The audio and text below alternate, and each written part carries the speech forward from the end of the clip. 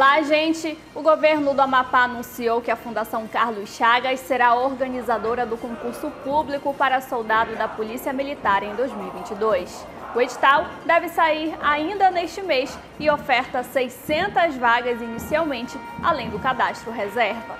No concurso de 2017 da PM, mais de 14 mil se inscreveram.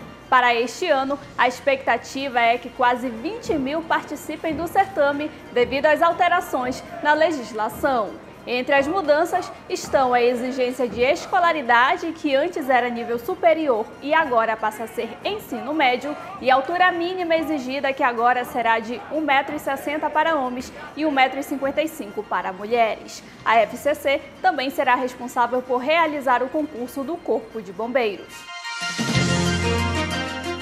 E através de uma parceria entre a Prefeitura de Macapá e o Sesc Amapá, moradoras da zona norte da cidade passam a contar com serviços gratuitos da carreta no pátio do Centro de Especialidades Doutor Papaléu Paz. Funcionamento será de segunda a sexta, das 8 às 12 e das 13 às 17 horas. No local são ofertados exames de mamografia e preventivo do câncer de colo de útero.